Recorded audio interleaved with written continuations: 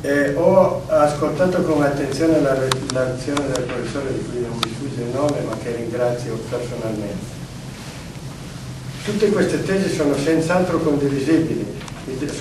il professore ha toccato i problemi importanti relativamente alla pastorizia. Che i cani eh, anche in abbondanza i recinti non funzionano sufficiente, basta eh, fare un salto in Francia nell'Ubai dove ci sono stati i cani, però il lupo è forma del cane, per cui sono dei, palliativi. E I problemi dei, dei, caprini sono ancora eh, un po' diversi da quelli degli ovini, perché noi abbiamo la fortuna di avere un, per adesso un solo, ma un bravo allevatore caprino eh, che facendo il prodotto confezionando il, il, il prodotto lattiero caseario ha la, eh, altri tipi di problematiche che sono delle problematiche stanziali però i grandi problemi eh, relativi, secondo me, eh, alla nostra valle, eh, parlare solo di, di ovini e, e, di pastorizia in senso stretto è molto riduttivo, anche perché la nostra valle storicamente non, mai, non ha mai avuto una grossa presenza di allevamenti ovini. In questi ultimi anni era partita una serie di allevatori giovani eh, anche in coincidenza, io poi li conosco tutti personalmente, anche in coincidenza all'apparizione del lupo, ma anche per altri eh, fattori, alcuni, i più motivati, hanno eh, eh, cambiato tipo di allevamento e altri si sono piano piano spenti. Eh, io parlo di, di, problema riduttivo perché la, la, grossa realtà della nostra valle è l'allevamento zootecnico eh, legato alla, al, al, al bovino e alla razza piemontese. Il, il pastore e la pecora eh, sono per adesso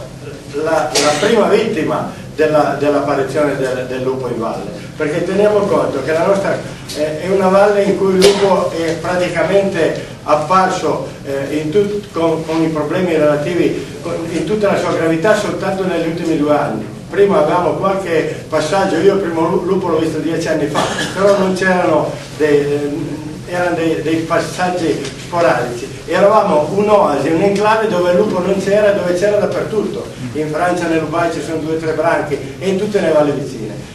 Da, da, quando è arrivato i problemi sono diventati grandi.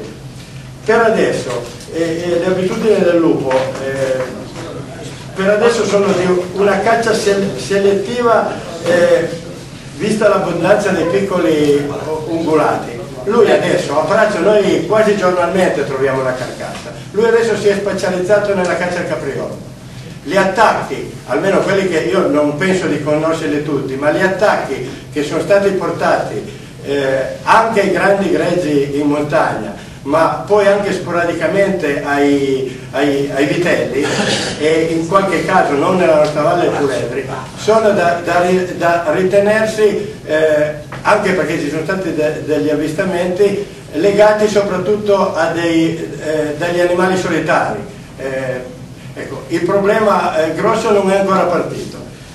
nei prossimi anni dobbiamo aspettarci un'escalation. Se noi consideriamo che grosso modo, poi magari mi diranno che, che ho torto, i, i, i, branchi di lupi mangiano in valle almeno un, un capriolo al giorno. Ecco, se facciamo, eh, io non sono tanto esperto del, del, del, numero di capriolo, sono qualche migliaia, ecco. però in, in, pochissimi anni loro senza, eh, restano senza eh, eh l'obiettivo principale, perché eh, uccidere un capriolo, soprattutto in inverno, è facilissimo, ecco, quando in questo momento c'è un, un, un, uh, incremento della popolazione eh, esponenziale, noi siamo passati eh, tre anni fa, avevamo due lupi a Prazzo che andavano da Prazzo a Canoggio che hanno fatto il primo danno, hanno fatto chiudere la prima azienda, quella dell'ex sindaco di Canoggio perché gli ha mangiato tutte le pecore. Ormai probabilmente si po possono contare da due a tre branchi più altri animali eh, eh solitari si passerà, io vi dico questo anche perché ho, ho, ho delle esperienze eh, sui, sui, settori limitrofi francesi, si passerà in breve tempo all'inizio di una caccia sistematica prima ai, ai, ai puledri poi ai vitelli, ma caccia sistematica vuol dire che arriva il branco nel, nel, nel, eh, nella mandria e uccide 2, 3, 4, 4 vitelli. Ecco, io conosco delle realtà, per esempio quelle di Giorgio, lui ha fatto nascere dei, puledri, dei, dei vitelli piccoli quest'estate, eh, vicino a Collintersile, una cosa di quel genere, in situazioni eh, quando scarseggia la, la, la selvaggina, saranno impensabili e non ha avuto nemmeno un attacco. Ecco. per cui dobbiamo ragionare in prospettiva per sollevare questi problemi. Eh, io parlo alla VGP, eh, l'esperienza sui cavalli nella VGP, c'è un allevatore nel valore della Gordolas che è immediatamente dietro il valore delle meraviglie, che inizialmente ha, com ha cominciato ad avere un puledro morto, poi eh, adesso eh, sono stati abbattuti anche animali adulti, magari animali già un po' più anziani, per cui pe dobbiamo pensare, noi allevatori di, di, di Piemontese, che il vitello è solo la prima fase, perché quando poi non trova più il vitello comincia a trovare la vacca che magari zoppica ecco, e comincia a uccidere anche perché se riesce ad uccidere dei cavalli adulti un branco di, lupo, di lupi vuol dire che non riusciamo più a difendersi nell'altra valle dell'Ubai ormai è, è, è, sistematico che eh, gli allevamenti ci sono pochi allevamenti in montagna eh, eh, di eh, bovini eh, seguiti da vitelli. Però chiaramente questi tipi di allevamenti stanno cessando perché i vitelli non è che, che, che uno ogni tanto glieli mangiano tutti sistematicamente. Se noi guardiamo la valle di la Valtanaro uh, là probabilmente c'è scarsità di, di, di, piccoli ungulati e i vitelli non possono più essere tenuti come sono tenuti normalmente da noi. Per cui questa è la, la prospettiva. La, la, la prospettiva per la nostra valle è particolarmente devastante perché da noi c'è soprattutto eh, per l'allevamento stanziale che comunque è un settore economico strategico ma non solo dal punto di vista economico perché l'agricoltura eh, insomma le cifre sono piccole anche se abbiamo dei sostegni ma per la presenza umana sul territorio e per la conservazione eh, dell'ambiente perché sono queste le tre valenze che, che, che dà l'allevatore stanziale eh, in montagna conserva l'ambiente, tiene aperte le borgate e, e, e,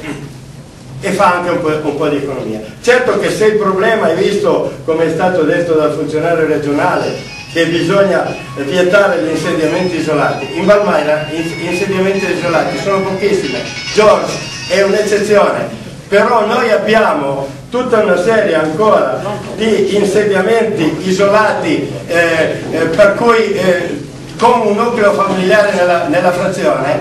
eh, che sono quello che tiene un po' aperta la nostra valle. Ecco, con questa teoria dobbiamo sopprimerli. Ecco. E tenete conto che se, se questo problema continuerà a, a, lievitare, gli insediamenti isolati, le persone sole, gli anziani non potranno continuare a, ad, ad, abitare eh, in frazioni sperdute, che, che è la nostra caratteristica. Per cui eh, il problema dovrebbe cominciare e, e contestualmente anche su un problema di sicurezza della popolazione. E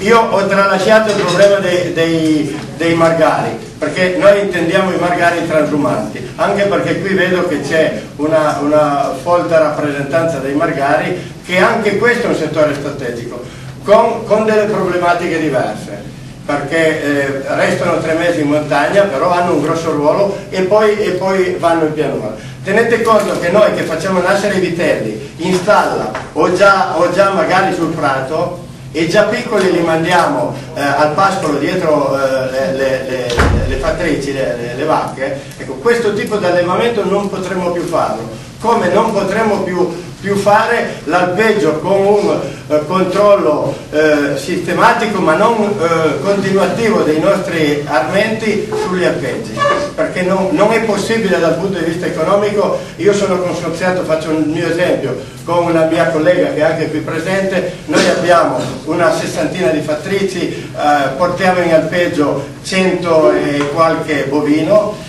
non possiamo permetterci di lasciare una persona continuativamente a fare la guardia al lupo, per cui tutto questo tipo di realtà